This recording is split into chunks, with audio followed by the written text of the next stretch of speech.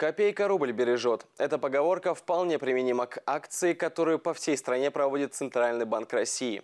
Он предлагает всем гражданам сдавать ненужную мелочь. Как это сделать и что можно получить взамен, выяснял Роман Быков. По данным Центробанка, сейчас в обороте в стране находится почти 72 миллиарда монет. Если разделить их между всеми россиянами, каждому достанется примерно 500 штук. Это полтора килограмма или около 850 рублей. И все больше и больше из них остается просто дома. Мелочь, которая оказывается в руках у населения, чаще всего не возвращается опять ни в магазины, ни в банки. Оседает дома в банках, в вазочках, пылится и, в общем, оказывается никому не нужна.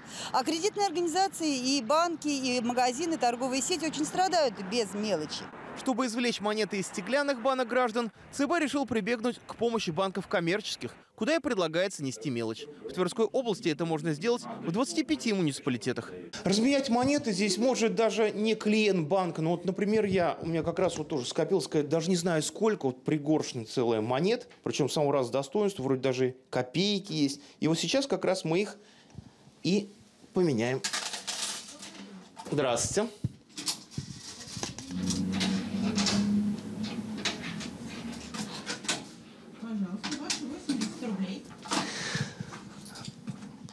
Таким образом, часть, конечно, монет не получилось обменять, потому что, как выясняется, как мне девушка подсказал, оказывается, в каком-то магазине, в каком-то магазине мне на сдачу дали монету еще 93 -го года выпуска. Но, тем не менее, часть монет все-таки сдал, что тоже полезно, потому что кошелек уже рвался, что называется.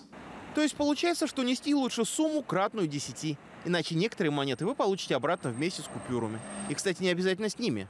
По желанию взамен можно получить и что-то на память. Если сумма 500 рублей, мы даем в подарок новую банкноту номиналом 100 рублей образца 22 года, либо 25 рублей юбилейная там, монета. А при э, сумме монет от 1000 рублей выше еще дополнительный сувенир от банка.